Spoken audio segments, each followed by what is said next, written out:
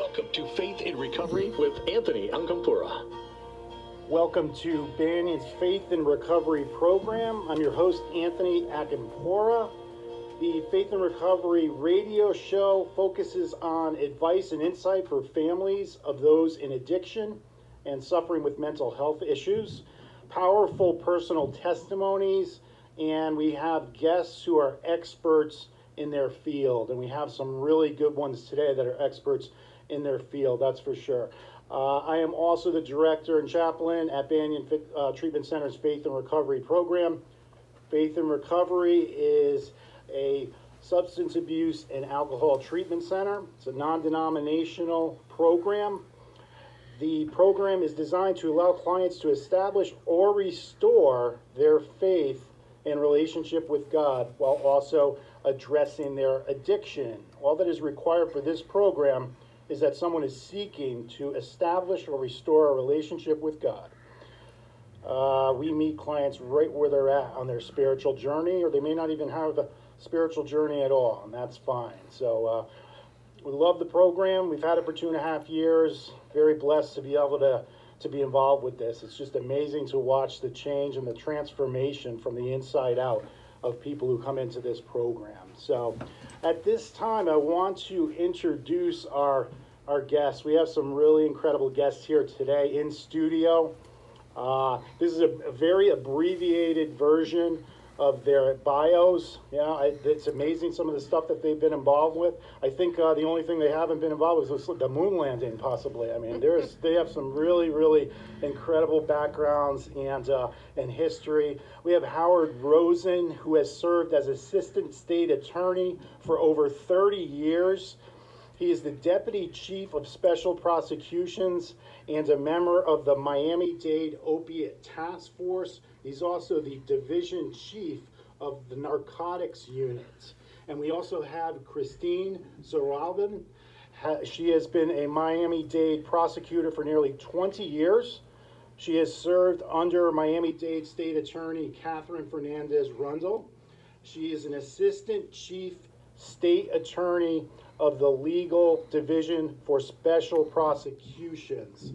And she's also a dynamic speaker and women's ministry leader at Christ Journey Church. So we're very blessed and very happy to have them. Welcome both of you, Christine and Howard, to the show. Anthony, thank you so much for having thank us. Thank you for having us, Anthony, and thank you for those gracious introductions. thank you. Thank. Um, well, I, have been doing some research. You know, I always like to do that before we have guests on, and I tell you, it's like one thing after another. I've been hearing so many incredibly powerful things and positive things about you. You know, I, I keep hearing the, the word pit bull keeps coming up, and it has to do with Christine in the uh, courtroom, like a pit bull. And, uh, and, and I have a pit bull, and he's like the sweetest dog ever. So I don't know, but I think they're talking about she's pretty tenacious. I think that's the pit bull. That, that's what I gather from the people that I've spoken to in the research. So this is just this is just great to have you. We're really excited about this. I'm going to start with Howard. Um, Howard, we're, we're talking a little bit about the opiate epidemic. We're going to get into that and those types of things. Um, where, how did we get to the, the point that where we're at right now with this epidemic? Okay, we need to start out with the notion that opioids are the most addictive substance ever known to mankind. Ever known to mankind. Wow. And, and it's 80% of the people that are on the streets injecting um, heroin started out with a legitimate prescription from a physician. Um, opiates includes drugs such as OxyContin, Percocet, hydrocodone, oxycodone, and typically what happens is people get sports injuries or they're in an automobile accident, and physicians are quick to give them oxycodone or any of these other um, opiates because to manage pain, they work. They do work. That's what they're intended to do, and they do work. However, um, nobody really envisioned how addictive these substances truly, truly are. Mm-hmm. Um, you know, it's, it's, we live in a society now where there really is a, a, quick fix for everything in the form of a pill. Sure. If I went to the doctor today and I said to him, listen, doc, my back is hurting me, he might say to me, well, Howard, you need to lose about 10 pounds. You put on some weight since the holidays. That might work. Right. He could say to me, I want you to um, start exercising, start running again. That might work. He might say to me, I want you to start doing yoga and strengthening your core. That might work. Or he could write me a prescription. That will work. that will alleviate my pain. But unfortunately, um, there's a significant likelihood that would also lead to addiction. In 2016, um, 99% of the people in the United States that had surgical procedures performed upon them went home with a um, opioid prescription. 99%. And three months post-operative, um, three million of these people were still using opioids. Wow, wow, that's that's amazing. You know, I actually did have a back injury recently, and I did go to the doctor, and he told me I had to lose about 80 pounds.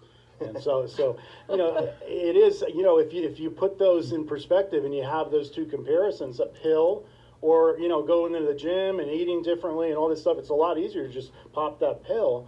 But you know, the, the I think the biggest difference is from what we see with our clients at, at Banyan Treatment Center, eh, you know, in Pompano Beach. We we see clients coming in that you would never think, or they were never involved with any illegal activity. It starts off with a legitimate reason, like like Howard just mentioned, or you have a sports injury, or you get injured on the job, and the next thing you know, you're taking these pills, and now you're addicted. And, and we see that escalate from something that a doctor's prescribing to the next thing you know, they're doing heroin. Right. Right. So I mean, it's just it's so different than like what we were talking about earlier, Howard. Like years ago, maybe 30, 40, whatever it is, years ago. It's just a totally different landscape now with with what's out there, and, and not only what's out there, but how dangerous it is. I mean, it's like Russian roulette by doing any of this stuff. It's, it's, it's incredibly, incredibly dangerous because what's happening now is, is heroin is being cut with deadly substances. Yes. It's being cut with fentanyl and carfentanil. Fentanyl is 100 times stronger than morphine. And people are buying heroin and it's cut with fentanyl and they don't know it. Um, it's purchased on the dark web and it is much cheaper than heroin, so it's actually used as a cutting agent. And, and it's killing people. And then the next thing is carfentanil, which is 100 times stronger than fentanyl or 10,000 times stronger than morphine. The only people that, that really use carfentanil are people at the zoo. Because carfentanil, carfentanil is an elephant Yeah. tranquilizer and a large primate tranquilizer. Amazing, amazing.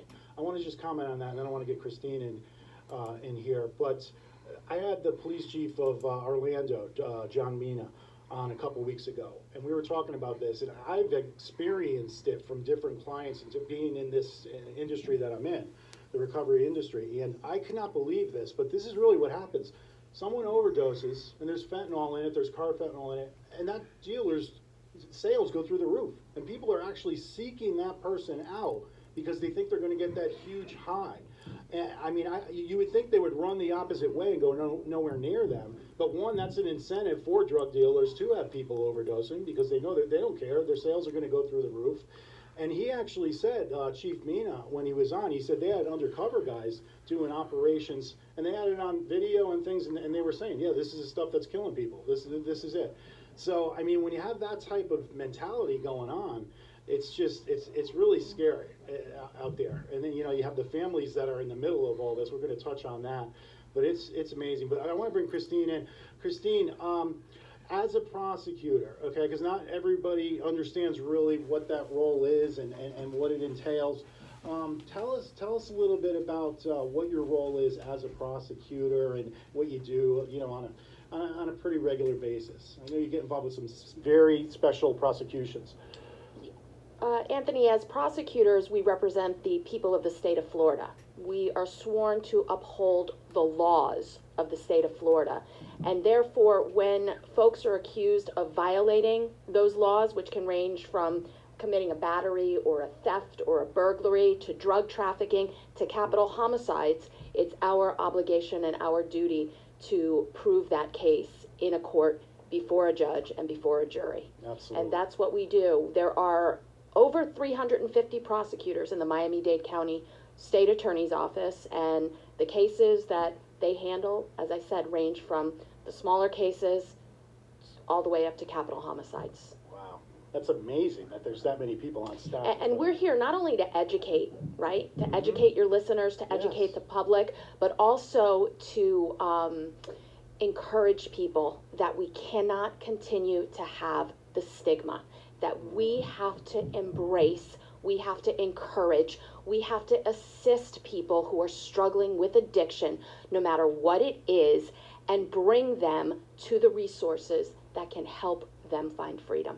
Wow, absolutely. Well said. The stigma, it, it kind of makes you think with mental health and mental illness, mm-hmm. you know, the stigma that's related to that. And, you know, it makes it so much more difficult for people to seek help if the, you have that big stigma and, and everybody, no one wants every, anything to do with you and you're shunned by society. Why, why would you even tell anyone that you have a problem?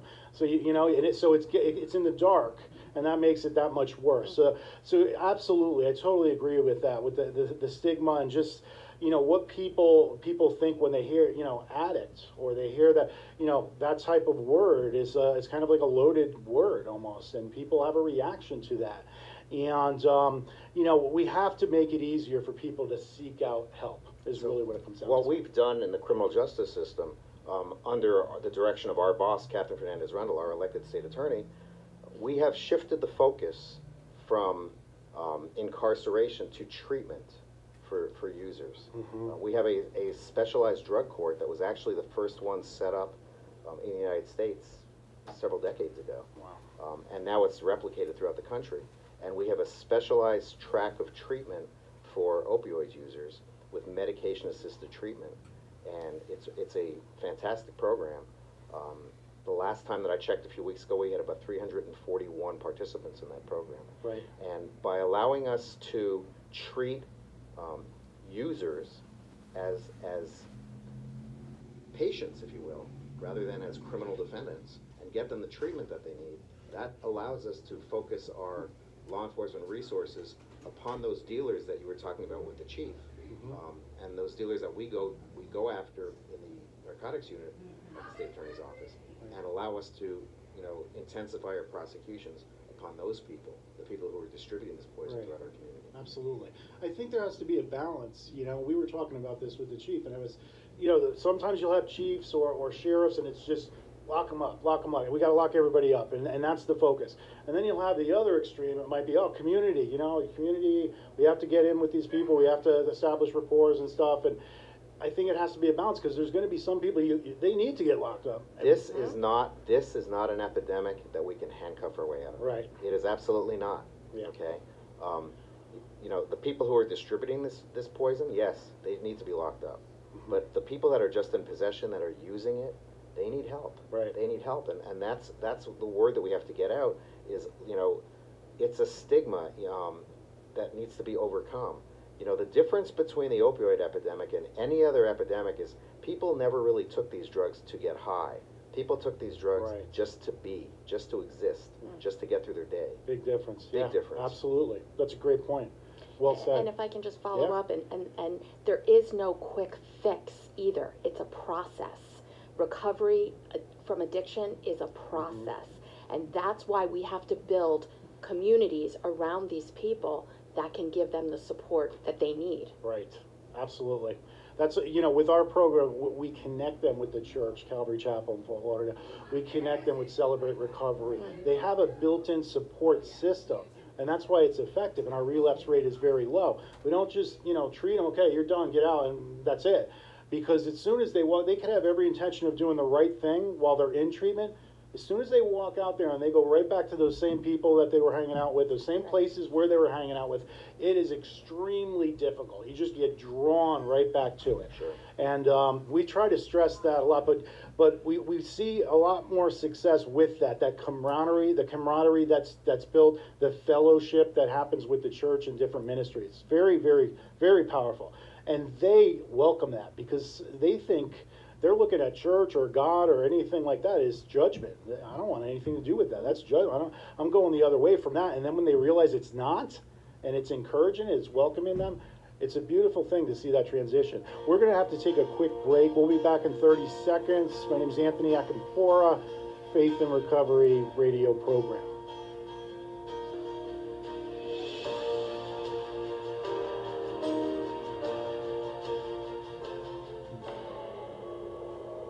You or a loved one are struggling with drug and alcohol problems or mental health disorders, call Banyan Treatment Center at 888-270-5712. Visit our website, faithandrecovery.com. We have a compassionate and understanding staff that were once in your shoes, and our clinical team is highly skilled to handle all types of addictions. If you need help, Don't wait. Call 888 270 5712 or visit our website, faithandrecovery.com.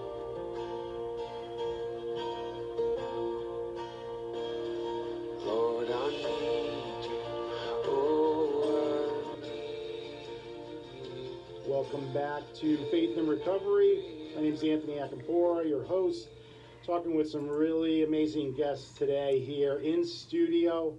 Howard Rosen, State Attorney, Deputy State Attorney, and uh, we have also Christine Zahralban. Uh, so, Howard, let's go back to where we, we were talking about earlier on. Where uh, were some of the things, what, what were some of the things that led up to creating uh, the Miami Dade Opiate Task Force? So the opioid addiction task force was formed by four entities that really saw a need in our community, as unfortunately there is a need throughout the nation. Um, and so it was formed by our state attorney, Catherine Fernandez Rundle, the Miami-Dade County Department of Health, the Department of Children and Family Services, and Mayor Gimenez's office, Right. our county mayor. And the four entities got together and put together this task force that really looked at the opioid epidemic from stem to stern, um, causes, solutions, um, from a criminal justice perspective, from a treatment perspective, from every perspective um, that there is. And, and we meet regularly. It was originally supposed to sunset after one year. We decided amongst ourselves at, at one of our public meetings to extend it. And so we still have our regular meetings. And we've done a lot of great work. It's led to a lot of legislative changes here in the state of Florida. That's great. But, you know, it's great to hear when people come together. I mean, I don't know what side of the aisle people are on or whatever. I'm sure there's a lot of different ones, you know, as far as political views and things. But to when you have that type of insight from so many different people, you know, and you're able to meet and you're able to really dissect a, an issue and a problem that's such a serious one, things get done. That's great that you guys are doing that. Yeah, it's, a, it's absolutely not a political issue at all. I mean, this is Yeah. something that's killing people, and, and you know, the heck with politics with something like this. Yeah. Um, the good thing about the task force, the main you know advantage to it is, you know, we on the criminal justice side had a lot of data. People in public health had a lot of data, and this is really an opportunity for everybody to get together and, and, and share. Everybody come out of their silos, you know, and, and, and speak to each other on a regular, ongoing basis about this issue to come up with common solutions. Right. And like I said, there have been some fantastic legislative changes, both in the criminal justice arena, both in the um, in the in the treatment arena and the prescription writing arena. right. So if you want, we could talk about some of those issues. Absolutely, yeah. You know, you know what it is. Sometimes, even if it's not politics, it's just different sectors. Sometimes, and because I, I I was dealing with this thing, it was called building bridges, and it had to do with building bridges between the faith, mental health, addiction, law enforcement communities, and the stumbling blocks that I would come across, like for faith and mental health, for example. The, the, the mental health people, a lot of it was, you know, they're psychotic, they need medication, and from the faith perspective, it was a spiritual thing, and they, they just didn't see eye to eye on that, so they kind of went their own ways. It was very fragmented. It's gotten better, I think, but it's so important for different sectors law enforcement, criminal justice, faith, addiction, mental health, all these different sectors to just come together with this.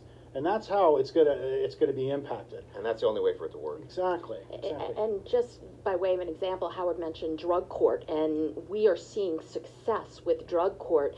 Um, I was at a community event in, around Thanksgiving, feeding the homeless veterans with the chiefs of police.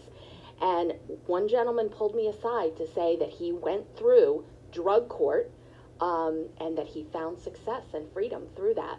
So Yeah. he wanted me to extend that message to our boss, Kathy Rundle. Excellent. Um, And, and, and those are the biggest advocates too. When, when, when someone overcomes something, you start to develop a compassion for other people that are suffering with the similar thing, and you want to help them. And, and you, that voice goes out. It's a beautiful thing.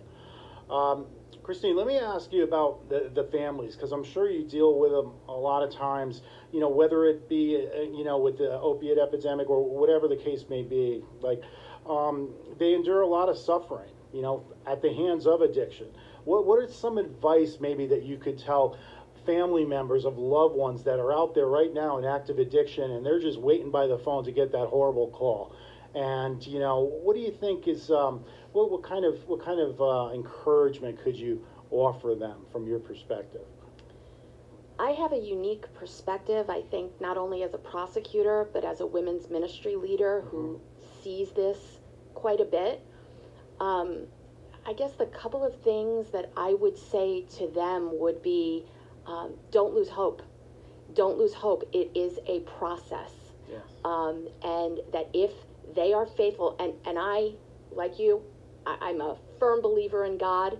I'm a firm believer in faith. You reach out, you get on your knees, and you will see um, light.